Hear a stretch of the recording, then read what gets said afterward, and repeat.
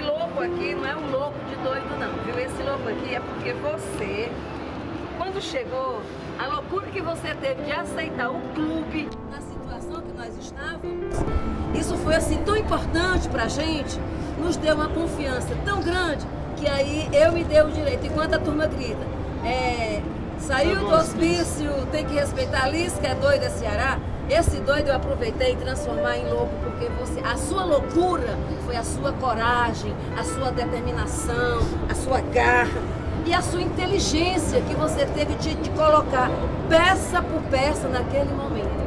E aí deu tudo certo. E aí você foi corajoso e terminou sendo admirado por essa torcida que é imensa, um, mais de um milhão e meio de torcedores. É a maior do estado do Norte e Nordeste.